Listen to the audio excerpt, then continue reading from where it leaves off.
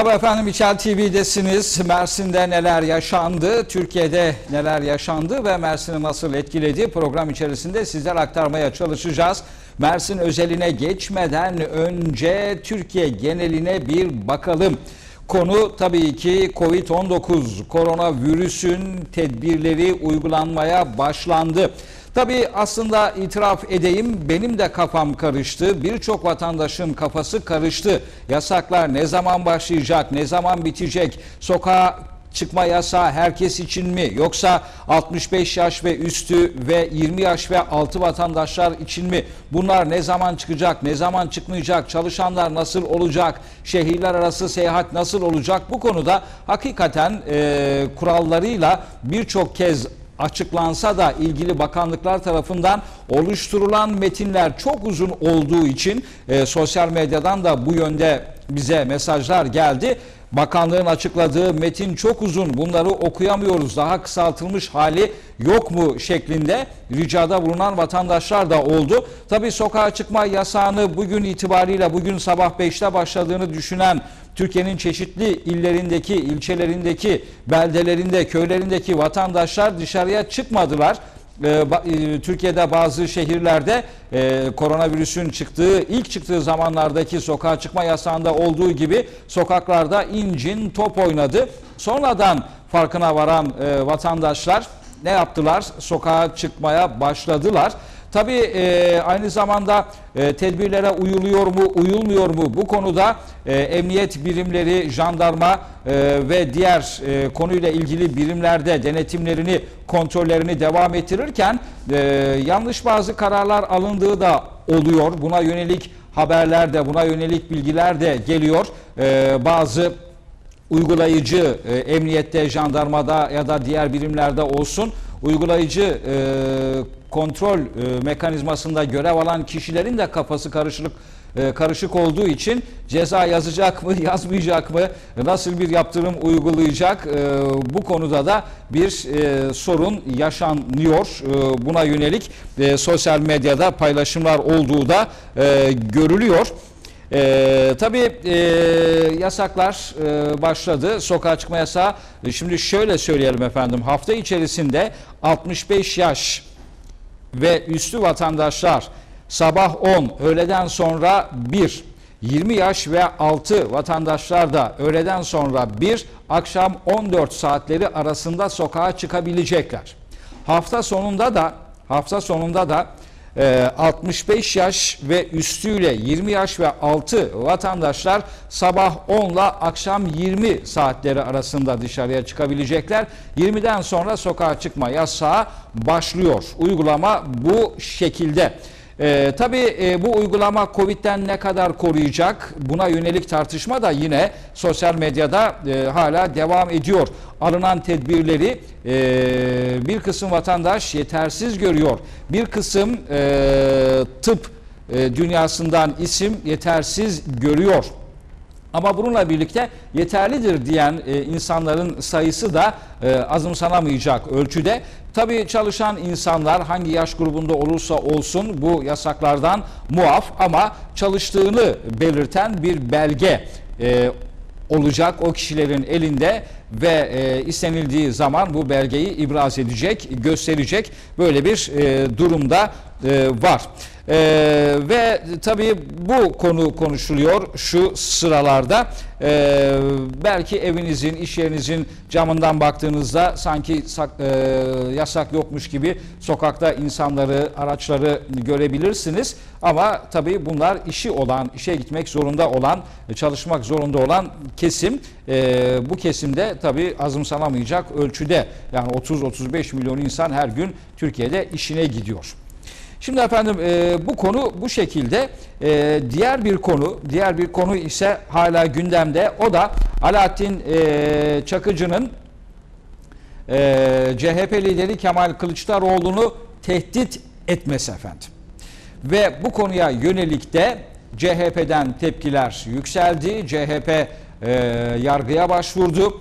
AK Parti'nin de önemli isimleri bu olmadı şeklinde e, çıkışta bulundular. E, Milliyetçi Hareket Partisi lideri Devlet Bahçeli Alaaddin Çakıcı ülkücüdür, arkadaşımdır e, açıklamasıyla Alaaddin Çakıcı'nın arkasında durdu.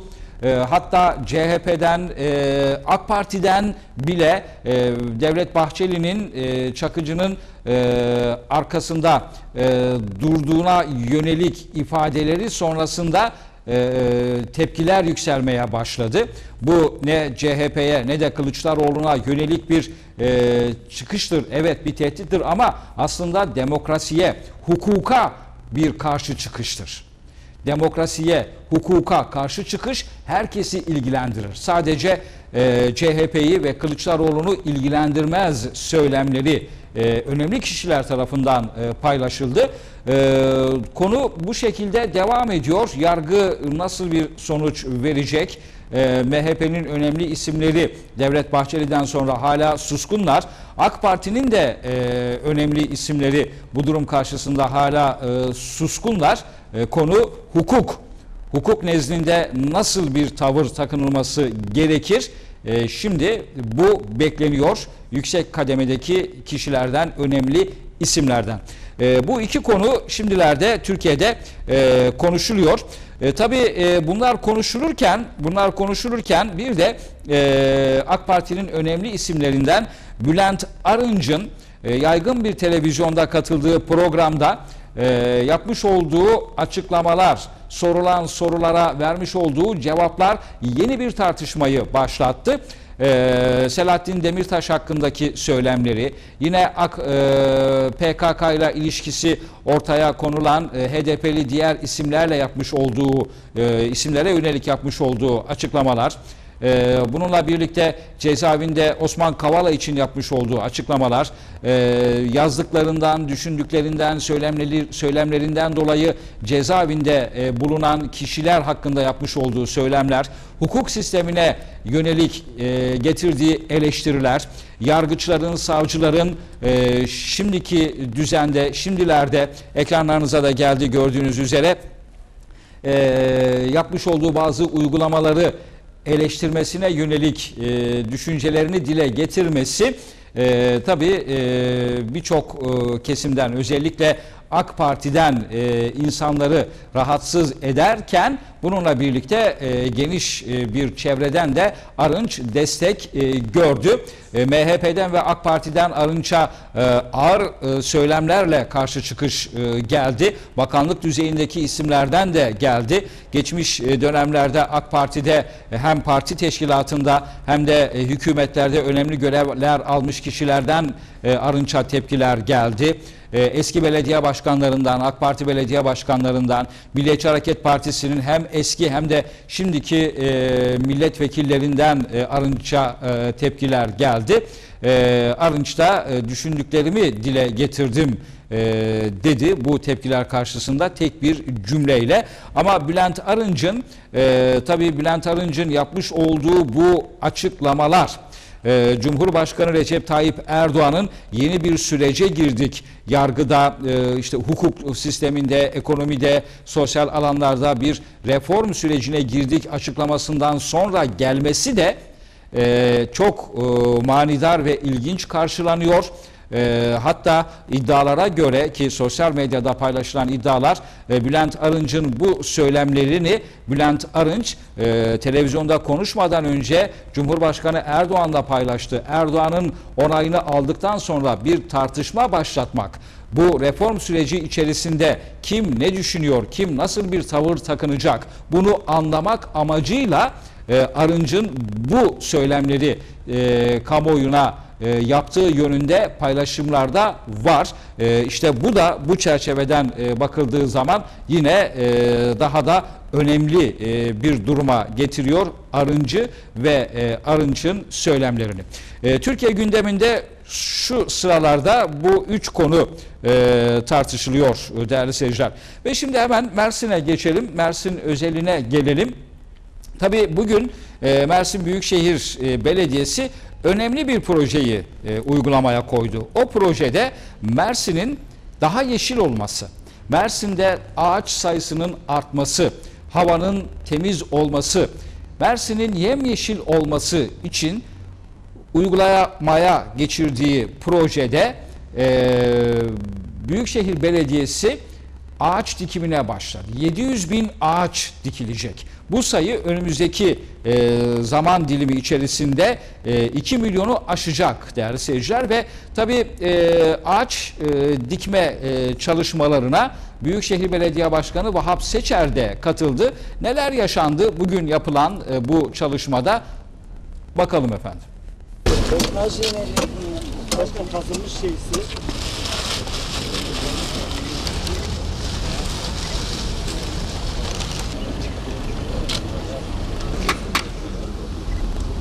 Çok çiğ mi nedir?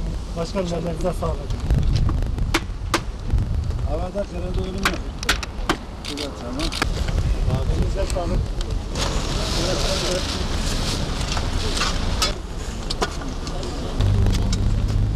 İyi değil mi? İyi başkan.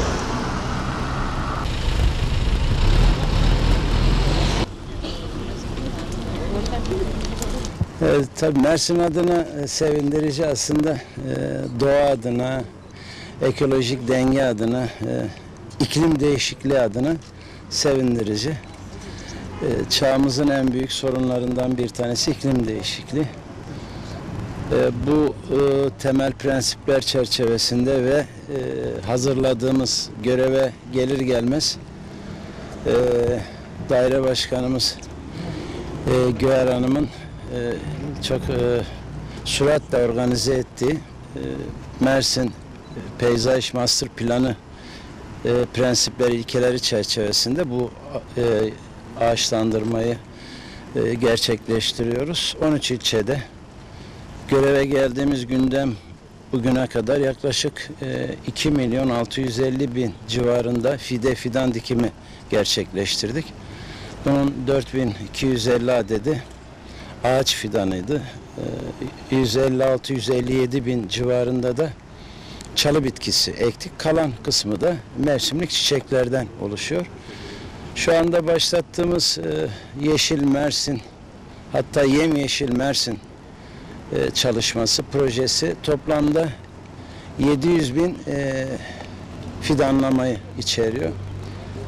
Bunun yanında tabii ki e, bu o 700 bin adet e, fidanlamanın içeriğinde e, çalı bitkileri de, e, ağaç e, fideleri de bütün bunları e, düşünebilirsiniz. Bu yıl sonuna kadar yaklaşık 2000 ağaç dikeceğiz. Şu anda da burada bir İsrail kauçuğu dikimi e, gerçekleştirdik. Burası Vali e, Hüseyin Aksoy e, Bulvarı Caddesi. Buranın asfalt çalışmalarını geçtiğimiz aylarda tamamlamıştık. Ardından kaldırım çalışmalarını da bitirdik. Çok da güzel bir çalışma olmuş. Şimdi yeşillendirme çalışmalarını yapıyoruz. Hem refüjlerin hem e, kaldırım üzerinde e, rezerve ettiğimiz e, fidan dikeceğimiz alanları şu anda ağaçlandırıyoruz. Her yıl bu çalışmaları biz devam ettireceğiz.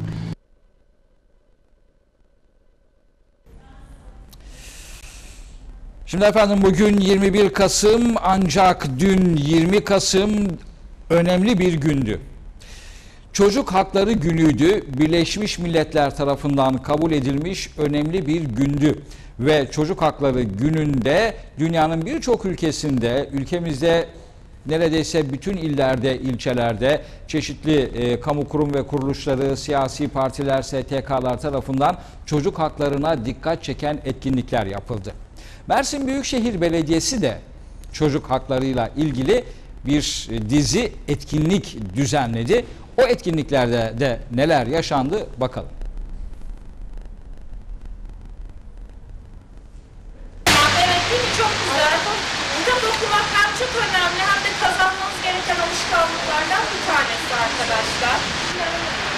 Oyun oynamak. Bir e, müzik aleti çalan ya da resim yapmayı seven var mı? Oyun hakkınıza giriyor. Mersin Büyükşehir Belediyesi'nin 1989 yılında Birleşmiş Milletler tarafından kabul edilen 20 Kasım Dünya Çocuk Hakları Günü'nde 7 noktada düzenlediği etkinliklerde çocuklara hakları anlatıldı. Çocuklar hayır deme hakkımız var, haklarımıza dokunma mesajı verdi. Mersin Büyükşehir Belediyesi'nin Dünya Çocuk Hakları Günü'nde düzenlediği etkinliklerde çocuğun eğitim, sağlık, dinlenme ve eğlenme gibi temel haklarının yanı sıra ayrım gözetmeme, çocuğun çalıştırılmaması, çocuğun yararının gözetilmesi, yaşama, gelişme ve katılım gibi hakları anlatıldı.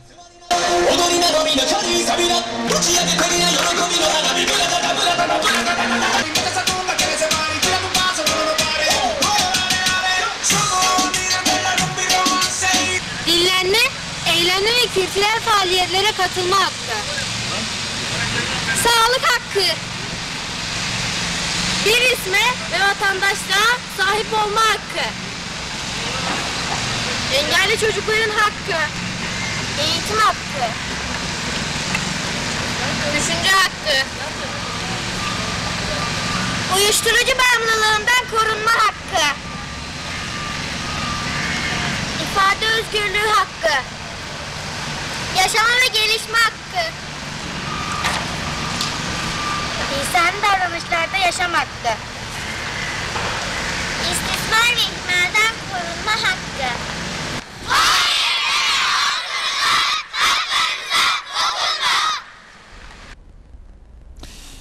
Mezitli Belediyesi de o özel günde 20 Kasım Dünya Çocuk Hakları Günü'nde Mezitli Belediyesi Kent Konseyi Çocuk Meclisi bir açıklama yaptı. Açıklamaya tabii e, Mezitli Belediye Başkanı Neşet Tarhan da katıldı. Mezitli Belediye Başkanı Neşet Tarhan, Mezitli Kent Konseyi Çocuk Meclisi tarafından düzenlenen Çocuk Hakları Günü etkinliğine katıldı. Mezitli Belediyesi Sivil Toplum Kuruluşları binası önünde düzenlenen etkinlikte çocuğun toplumdaki yeri ve hakları konusuna dikkat çekildi. Kent Konseyi Çocuk Meclisi Başkanı Sadık Gürsoy, Başkan Yardımcıları Mert Dinçer ve Eylül Koylan günün anlam ve önemine dair bir açıklama yaptı. Çocuk hakları hem kanunen hem etik olarak dünya üzerindeki bütün çocukların doğuştan sahip olduğu evrensel bir kavramdır. 20 Kasım 1959'da yani bugünden tam 61 yıl önce Birleşmiş Milletler Genel Kurulu'nda çocuk hakları bildirgesiyle kabul edilmiş ve 10 ilkeden oluşmuştur. Tüm dünya çocukları bu bildirgedeki haklardan din, dil, ırk, renk, cinsiyet, milliyet, mülkiyet, siyasi, sosyal sınıf ayrımı yapılmaksızın yararlanmalıdır. Çocuklar özel olarak korunmalı, yasa ve gerekli kurumların yardımı ile fiziksel, zihinsel, ahlaki, ruhsal ve toplumsal olarak sağlıklı, normal koşullar altında özgür ve onurunun zedelenmeyecek şekilde yetişmesi sağlanmalıdır. Öncelikle sizlere Mezitli Kent Konseyi Çocuk Meclisi'ni anlatmak istiyorum. Meclisimiz kent, içi, kent içinde yaşayan tüm çocukların dil, din, sınıf, eğitim, kültür ve düşünce farkı gözetmeksizin bir araya gelerek öğrendiği, eğlendiği hem de düzenli toplantılar yaparak kararlar aldığı, söz söyleme haklarının olduğu faydalı bir oluşum, demokratik bir meclistir. Biz çocuklar eğitim, sağlık, yaşama, barınma, fiziksel ve psikolojik sömürüye karşı korunma gibi haklara doğuştan sahibiz. Bu hak evrenseldir ve dünyanın hiçbir yerinde bu hakkın geri alınma olasılığı dahi yoktur. İnsan Hakları Evrensel Beyannamesi'ne bağlı olarak da Birleşmiş Milletler tarafından Çocuk Hakları Sözleşmesi imzalandı. Bildiğiniz gibi fuar alanının karşısında İnsan Hakları Parkımız var. Ee, dere çalışmalarından dolayı bu yıl orada yapamadık bu etkinliği. Ama inanıyorum ki gelecek yıl o İnsan Hakları Parkı'nda bu günümüzü daha coşkulu şekilde kutlarız. Ben Mezitli'deki çocukların Kent Konseyi bünyesinde bu çocuk meclisine çocuklarını göndermelerini istiyorum. Görecekler ki buradan çok fazla kazanımlar olacaktır. Çocuklara biz hizmet etmeye devam edeceğiz. Çünkü Türkiye'nin diğer ülkelerde de öyle geleceklerinin daha çağdaş olabilmesi bugünkü çocukların bizlerden daha yetkin, daha aydın, daha çağdaş düşünceler sahip olmasına bağlıdır. Onun için Atatürk'ün dediği gibi biz umutluyuz, çocuklardan umutluyuz, gençlerden umutluyuz. Ben bu bağlamda Kent Konseyi'nin çalışmalarına da tekrar teşekkür ediyorum. Çocuklarımıza başarılar diliyorum. Sizlere de sevgi saygı sunuyorum.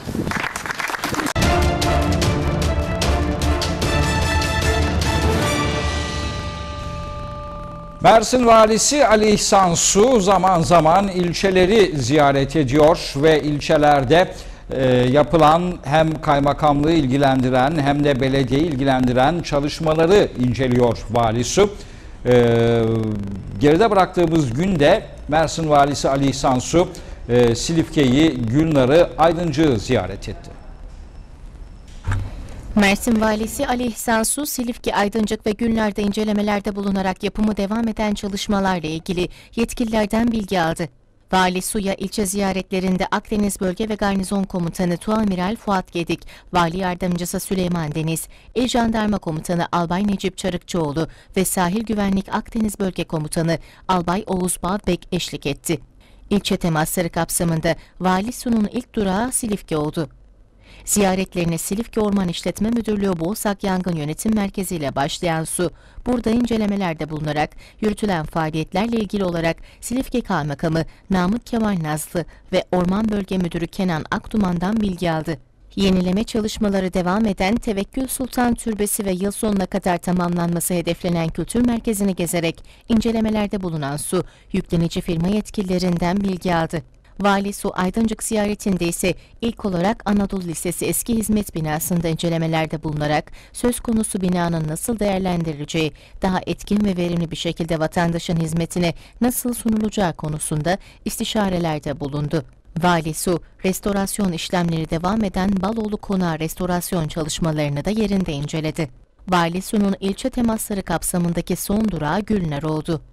Burada ilk olarak Gülnar Kaymakamlığı ve belediyeyi ziyaret eden Su, çevrede faaliyet gösteren Gülnar esnafına hayırlı ve bol kazançlar diledi.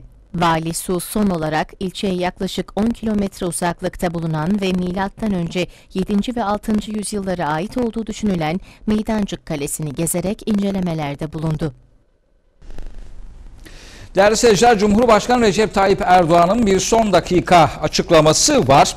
Ee, açıklamada AK Parti kongrelerinin ertelendiğini duyurdu ee, Cumhurbaşkanı Erdoğan. Ee, şöyle efendim, Cumhurbaşkanı Erdoğan koronavirüs salgınına dair yeni kısıtlamalara ilişkin olarak kontrolden çıkarsa çok daha büyük problemler yaşarız. Bu yeni dalgayı da kırdığımızda daha güzel günler göreceğiz. Salgınla mücadeleye destek vermek için önümüzdeki haftalardan itibaren kongrelerimizi erteliyoruz dedi Cumhurbaşkanı Erdoğan ve partisinin Kütahya, Afyonkarahisar, Batman ve Siirt 7. olağan il kongrelerine e, Vahdettin Köşkü'nden video konferansla katılarak bundan sonraki süreçte kongrelerin ertelendiğini duyurdu Cumhurbaşkanı Erdoğan. Tekrar Mersin'e dönelim efendim. Ee, Mersin'de Toroslar Belediye Başkanı Atsız Avşın Yılmaz, e, Mersin Ticaret ve Sanayi Odası'nın öncülüğünde düzenlenen ve Alman yatırımcıların da katıldığı online bir e, toplantıda yatırımcılara Torosları tavsiye etti. Yabancı yatırımcıyı Toroslara davet etti. Toroslar Belediye Başkanı Atsız Afşin Yılmaz yerli ve yabancı yatırımcıları Toroslara davet ederek işbirliği çağrısı yaptı. Başkan Yılmaz, Mersin Ticaret ve Sanayi Odası organizasyonunda düzenlenen Türk-Alman Ekonomi Günü webinarına katılarak Mersin'i ve Torosları anlattı. Webinar, Almanya Büyükelçiliği Ticaret Müsteşarı Freda Sleman, Gıda ve Tarım Bölüm Başkanı Peter Bolan, Mersin Ticaret ve Sanayi Odası Yönetim Kurulu Başkanı Ayhan Kızıltan, Alman Türk Ticaret ve Sanayi Odası Başkan Yardımcısı Ayça Gözmen Yalçın, Ticaret ve Yatırım Temsilcisi Catherine Pasvins ve Global Business Türkiye Temsilcilik Müdürü Adem Akkaya'nın katılımıyla Zoom uygulaması üzerinden canlı yayınla gerçekleştirildi. Türkiye ve Almanya arasındaki ekonomik ilişkiler, yatırım fırsatları, vize süreçleri ve Almanya'da faaliyet gösteren çeşitli kurum kuruluşlar hakkında üyelerin bilgilendirildiği toplantıda Başkan Yılmaz da söz alarak Mersin ve Torosların yatırımcılar için istikbal vaat eden bir bölge olduğuna dikkat çekti.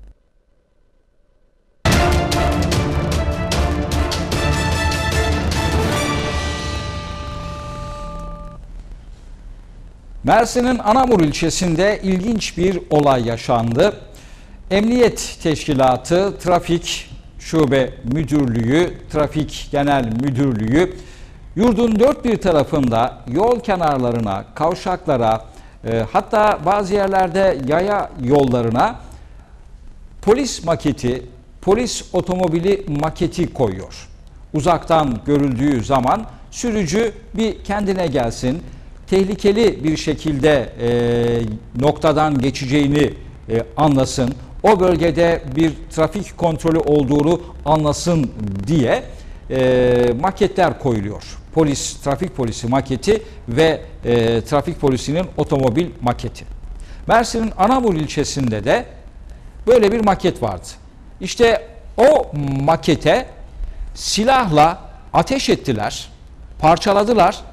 O yetmezmiş gibi trafik polisinin maketinin üstünü kalemle boyadılar. Mersin'in Anamur ilçesinde yol kenarına yerleştirilen maket trafik polisi ve aracına kimliği belirsiz kişi ya da kişilerce pompalı tüfekle ateş açıldı. Saldırganlar zarar verdikleri maket polise kırmızı kalemle sakal ve bıyık çizdi.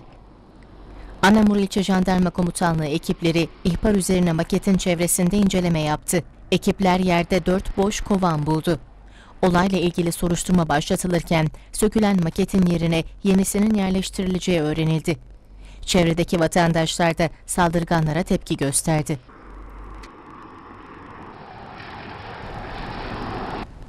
Jandarma e, bunu yapan kişileri bulmak için çalışmasını devam ettiriyor diyelim. Şimdi gelelim tekrar Mersin'de başka bir konuya. Yılın bu aylarında genellikle balık az olurdu. Balığın az olması nedeniyle de balık fiyatları tavan yapardı.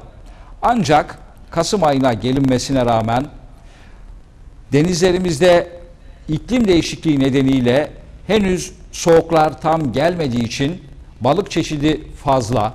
Balıkçılar rahatlıkla denize açılabiliyor.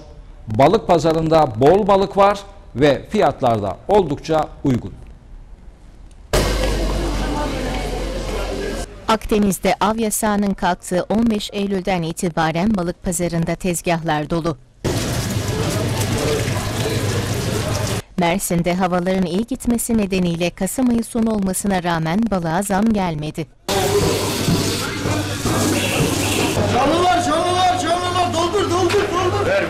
Ver. 3 kilo, 5 kilo. Doldur, doldur. Zaten 15 Eylül itibariyle av yasağımız kalkmış durumdaydı ve balık sezonumuz yaklaşık 2-3 aydır açık. Ee, balık çeşitliliğimiz bol. Ee, sezon e, şu an serbest. E, Nisan 15'e kadar da bu serbestlik devam edecek. Her çeşit balığımız çıkıyor şu an Akdeniz'de. Barbunya'dan tutun gümüş balığı, istavrit, mezgit, turna, sardalya ve Karadeniz'den sadece biz e, dışarıdan e, hamsi getiriyoruz. Hamsi de mevcut. E, Her çeşit balımız Akdeniz'in balığı. Taze ve günlük balıklar her gün var ve her gün pazara geliyor. Şu an fi- fiyatlar uygun. Normalde biz balık sezonu dolayısıyla yaşanan pandemi sürecinde de biz şu an fazla bir zam yapmadık. Şu an balık av mevsiminin açıldığı tarihten itibaren aynı fiyatlarla gi- gidiyor. Faşırı bir oynama yok. %3, %4'lük bir hafif zamlar var. Yük- e, fiyatlarda bir yüksekliği yok. Barbunya 20-25 lira arasında gidiyor. Sardalya 10-15 lira arasında gidiyor. Hamsi 10-15 TL arasında gidiyor. Efendime söyleyeyim mezgit 20-25 lira arasında gidiyor. Çupra 30-35 lira arasında her e, bütçeye, her keseye, her aileye uygun balıklarımız var. Balıklar çıkıyor. Tabii yılbaşına e, doğru havaların bozmasıyla fırtınalı havalar balıkçılarda sıkıntı yaratır. Yağmurlu hava bir şey yapmaz ama fırtınada denize açılamazlar. E, teknelerde e, ba- balığa açılmama durumu olur. Balıkta bir sıkıntı olur. O sırada da balıklarda da bir denizden diplerine kaçma olur. Yılbaşına doğru bir değişiklik olabilir. Hemen geliyor abi.